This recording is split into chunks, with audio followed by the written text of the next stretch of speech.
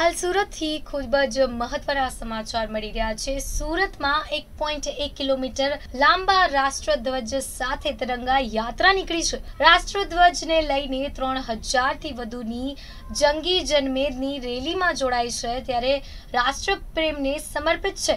આ રેલીનો આ મુખ્ય ઉદ્દેશ છે પાંચ હજાર મીટર કાપડનો ઉપયોગ કરવામાં આવ્યો છે. રાષ્ટ્રધ્વજના ત્રણ રંગોને ત્રણ ડાઇનિંગ મશીન પર રંગવામાં આવ્યા છે. ત્યારે મશીનથી સ્ટિચિંગ પણ કરવામાં આવ્યું છે.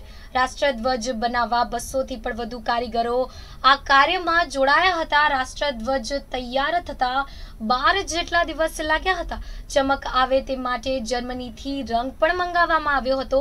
સાટેન કપડાનો ઉપયોગ કરવામાં આવ્યો હતો. ત્રણ હજારથી પણ વધુ લોકો આ જ્યારે કાર્યક્રમમાં જોડાયા છે, ત્યારે ફ્લેગ પંદરસો લોકો પકડીને ચાલી રહ્યા છે, જ્યારે એસી સંસ્થા આ કાર્યક્રમમાં સાથે જોડાઈ છે.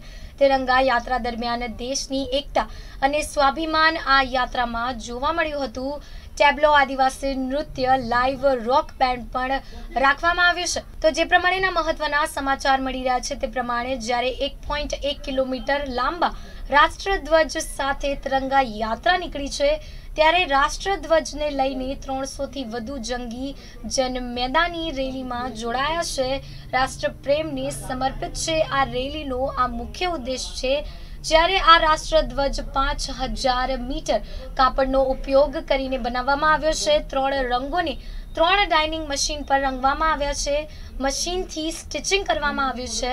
રાષ્ટ્રધ્વજ બનાવવા બસોથી પણ વધુ કાર્યકરો જ્યારે જોડાયા છે, ત્યારે આ રાષ્ટ્રધ્વજને તૈયાર થતા બાર જેટલા દિવસો લાગ્યા છે, જર્મનીથી શાઇન આવે તે માટે રંગ પણ મંગાવવામાં આવ્યો છે, સાટીન કપડાનો ઉપયોગ કરવામાં આવ્યો છે, ત્રણ હજારથી પણ વધુ લોકો આ કાર્યક્રમમાં જોડાયા છે, ત્યારે ફ્લેગ પંદરસો લોકો પકડીને ચાલી રહ્યા છે એસી સંસ્થા સાથે જોડાય છે. તિરંગા યાત્રા દરમિયાન દેશની એકતા અને સ્વાભિમાન જોવા મળ્યું હતું, ત્યારે ટેબ્લો આદિવાસી નૃત્ય, લાઈવ રોક બેન્ડ પણ રાખવામાં આવ્યું છે.